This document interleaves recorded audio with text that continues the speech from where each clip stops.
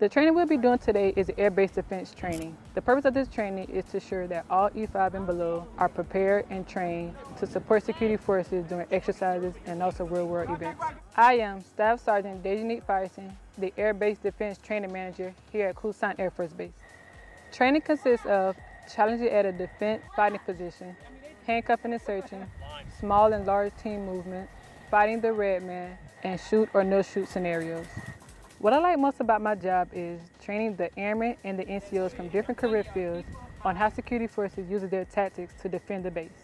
We have all different airmen from different units, so a lot of them don't know anything about security forces. So having them come to our training course teaches them new things. They always are so enthusiastic about learning new things. What I think the viewers should know is that this is a wonderful program, and we as security forces appreciate all of the support from the units and the participation during this training.